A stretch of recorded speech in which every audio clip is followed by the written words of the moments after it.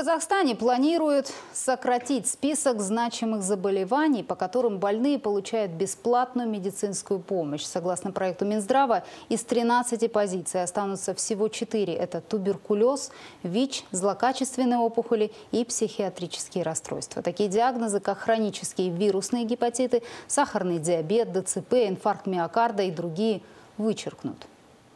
Проект приказа министра здравоохранения Лжана Бертанова сейчас находится на обсуждении на сайте электронного правительства. И, как сегодня сообщил глава ведомства, исключение заболеваний из списка не означает, что этим больным прекратят оказывать помощь. Напротив, ее усилят.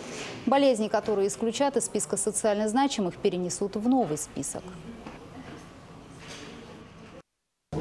То есть это четко будет оговорен перечень этих заболеваний, четко будет оговорено э, количество и кратность э, диагностических исследований, консультаций, а также четкий перечень э, бесплатных лекарств, которые будут эти больные обеспечиваться.